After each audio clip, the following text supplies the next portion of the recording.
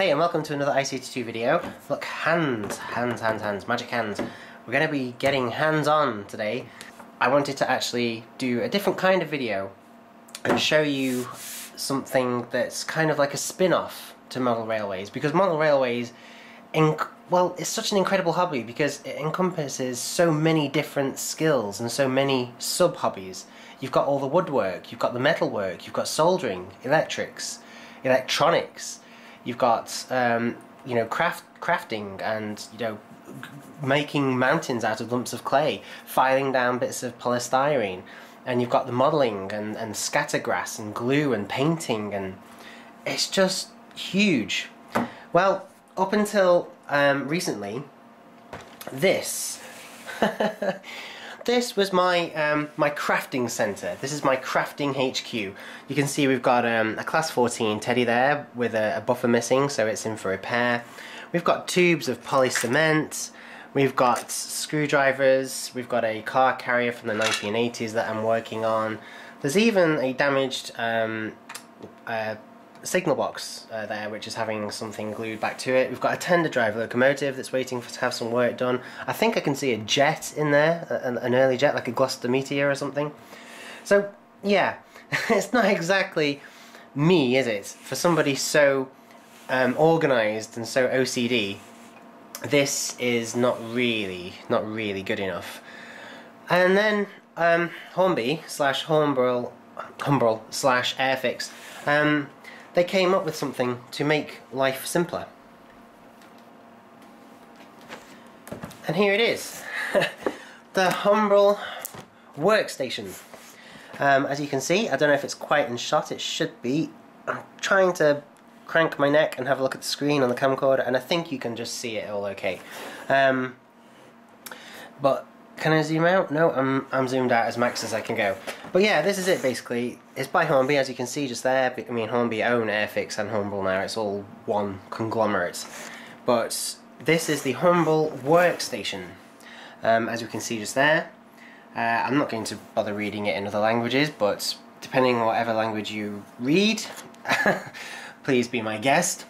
So, it's basically just an organizer. It's, just, it's basically just a desktop organizer and some might say that it, it's not really worth the money because you know you can just get away with a sheet of newspaper to be honest most people have been building models with just a sheet of newspaper for decades and have never had a problem but I suppose if you're going to be doing a lot of modelling or you take your modelling seriously then this is something worth investing in or is it? I'm going to find out.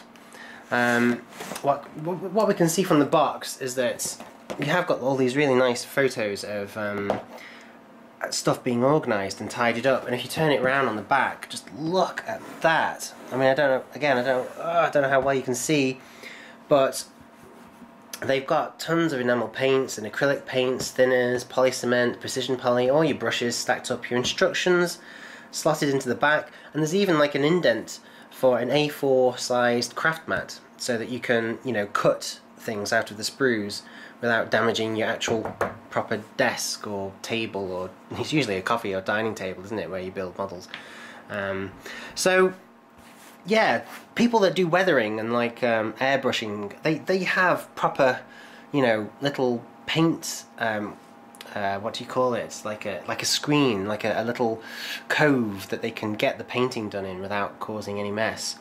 I guess if you're into your modelling this is worth having a look at. Um, it was only £20, 19.99, so it's not too bad, really. That's quite affordable. Um, although it does look to be just a gigantic lump of plastic, doesn't it? So, hmm. Well, how about I open it up and see what's inside? Well, I'm not expecting there to be very much, actually. In fact, no, there's not. Oh, wow! Oh, okay, that's impressive. Um, that's typical.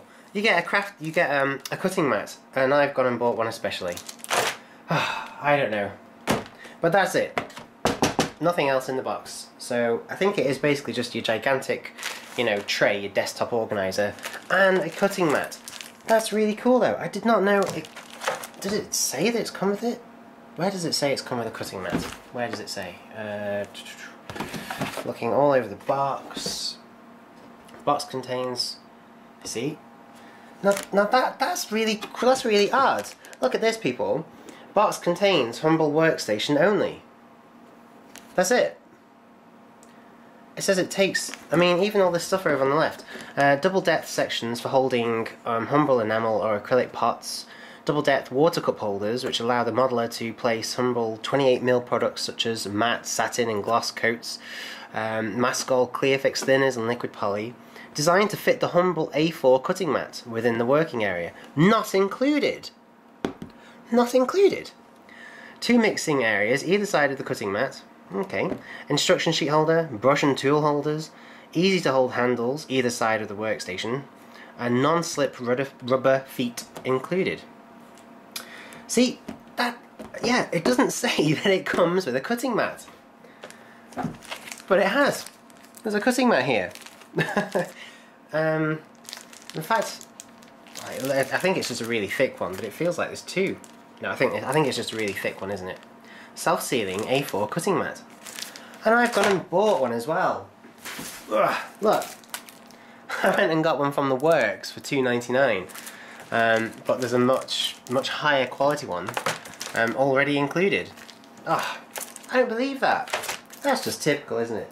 Do you know, if I hadn't have bothered, there, there, just, there wouldn't have been one, would there? But as it is, I've got two. Right, anyway, enough moaning about it. I've, it's just British of me, isn't it? I mean, it's a good thing, and there I am moaning. So, let's open this, this bag up and see what's inside. I think we can see what's inside. Yeah, there we go. Okay. Let's just get rid of the plastic. Oh, now that's that's that's actually quite nice. That's that feels really solid, actually. It feels really good. Um, it's I'm, lo I'm looking for the I'm looking for the feet. Yes. Oh, there we go. Oh, it looks like one's missing actually. Um, is that that in the bag? Is it fallen off in the bag? There's like a little rubber um, stud that's missing. Uh, no, it's it's definitely not in the bag. Um, okay, but there's a little rubber feet there. There's a little one there, and there's one there, but there's one missing here. Do you see that? Just down here in this corner? There's one missing and um, I can't see where it is at all. maybe, maybe that's maybe that explains everything. Maybe that's why they've put a mat in. You know, the, the guy or the woman at the factory was like, "Oh dear, um, there's a feet, there's a, a foot missing off this one. We'll chuck in a craft um, a cutting mat. They'll they'll be happy. It'll be fine." I don't know. I think I'd rather have this though, to be honest. I can I can easily just buy a little bit of rubber and put it onto the onto the bottom. It's okay. Right. So how does it feel? Well, it feels really good actually. It feels really strong. It has got some an, an indent at either end so that you can grab it with your hands. They really are handle shaped and it feels strong. You know, I'm not even going to try to bend it, but it doesn't feel like you could even if you wanted to. So it does feel really quite strong, which is good because you know paints and thinners and stuff can weigh quite a bit. Um, I'm not too sure about these areas at the side, it's almost like it's trying to encourage you to use them to mix up paints and liquids in there. I don't really fancy doing that. Um, the areas for the paints at the back, they look quite nice. Um, let me just grab one. Okay, I'm back with a couple of paints from my old crafting um, HQ and I must admit that's pretty good. That does feel quite nice. And what I like is that they've even got the um, the tiny indentations. Excuse me. They've even got the really small indentations at the bottom, just like it says, double depth. So you can put in the free paints, well not the free paints, but the little tiny Humbrol paints that come with the Airfix starter kits and stuff. Yeah, just like this. There's one. This is a really old one. I've written green on it for some reason. Um, but yeah, look at that. It just fits in perfectly. So it doesn't matter what size paints you're going to use, they fit. Oh, I was going to say it holds them really steady, but I suppose you're not you're not exactly going to lift it up and shake it like mad. But mild shaking, and it's okay really. It's not going to fly all over the place. So that's really good. Um, I'll just take those away again. Let's open the um, crafting mat. The, I keep calling it a crafting mat, but they call it a cutting mat. I suppose it doesn't really make any difference. Um, oh, this is quite hard to open. I need some scissors. Right, yeah, there we go. So as I say, I can't guarantee if you're going to get one of these as well. It's very, very cool if you do, and if you do, please let me know. Um, it'll make me feel less special, but I can take it. So there we go. Oh, now that's nice. That fits perfectly, actually. That is absolutely beautiful. So, oh wow, this, I didn't even know it had a smell. Oh my gosh.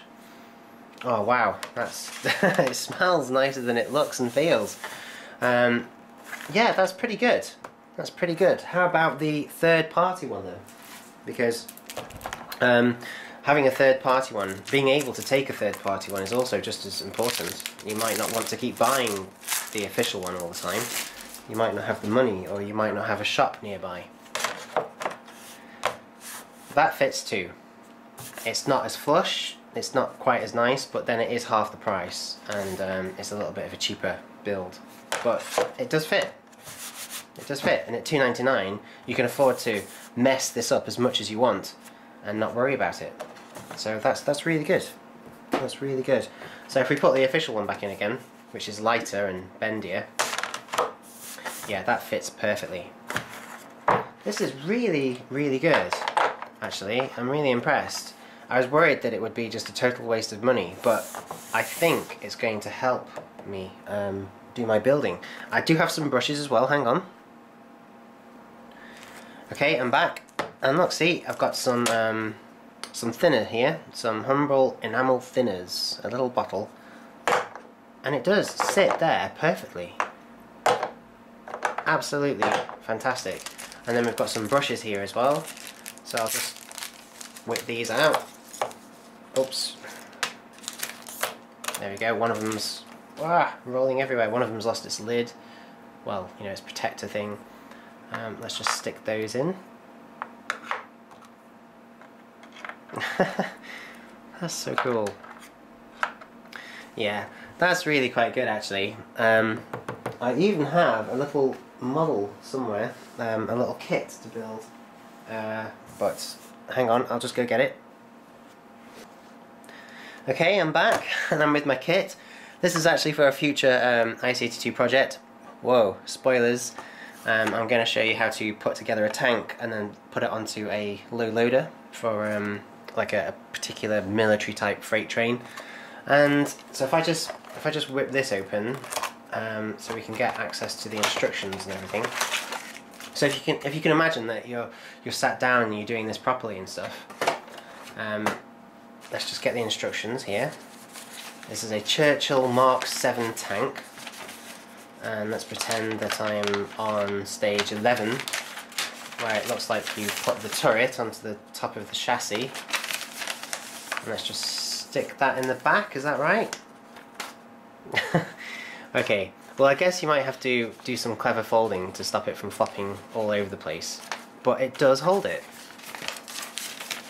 it genuinely does hold it it's the perfect um, the, yeah look at that that's really good join the Airfix Club. Okay, uh, some stickers, well, transfers, and there's the actual tank. So, yeah, that's really nice. I'm seriously impressed, people. Um, I thought it would be a waste of money.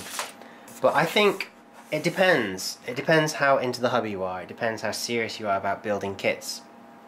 If you're quite seriously into it, and you take the time and the effort to get them painted accurately and built as well as possible, then this is definitely worth investing in because it's just going to make doing the job so much more, well, enjoyable, um, so much more fun and so much easier as well. It, it's nice to have everything close to hand, to not have to be rooting around for it, and it's nice to nice to have everything tidy and organised, and it does feel like such a good, you know, such a good unit.